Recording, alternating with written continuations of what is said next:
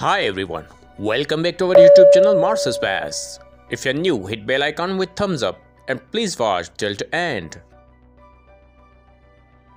NASA's Curiosity rover acquired this image on Mars, captured on 4th Feb 2022, Sol 3371, using its right Mastcam, and found something mysterious.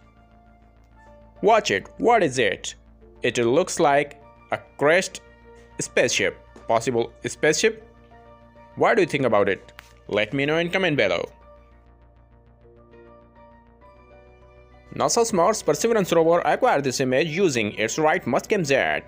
Mastcam Z is a pair of cameras placed high on the mast of the rover. Captured on 7 Feb 2022, Sol 344. If you like this, hit thumbs up and don't forget share to your friends. Stay connected with us. Thanks for watching.